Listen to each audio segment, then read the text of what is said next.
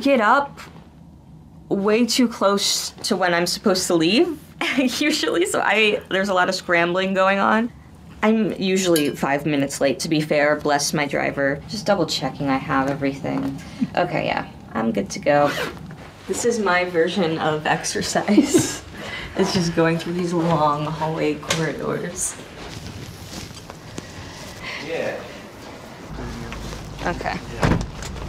Routine for me is like okay to an extent because new things are always scary for me.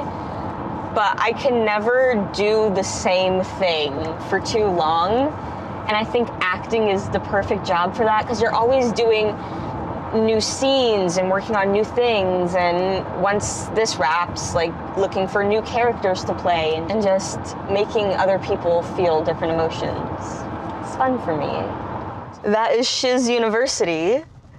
Um, and it's the most out of this world set I've ever seen in my entire life.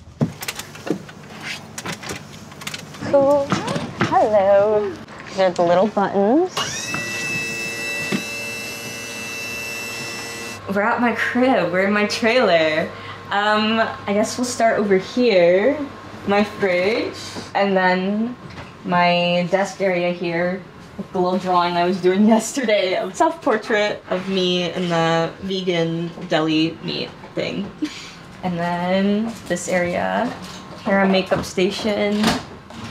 We do usually have some tunes in the morning. So just pretend in your brain that there's a bunch of tunes going on Good tune. that we're singing along to.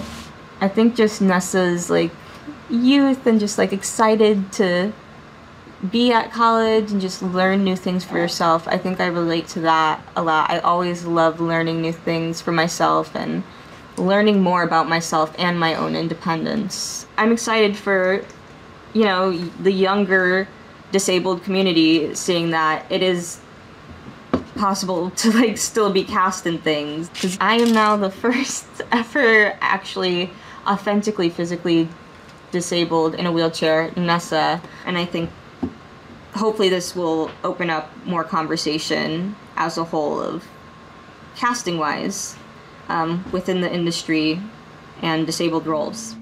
Hair and makeup are did, and now I'm out of here. I'm off to set. Wicked. Rated PG. Only in theaters November 20.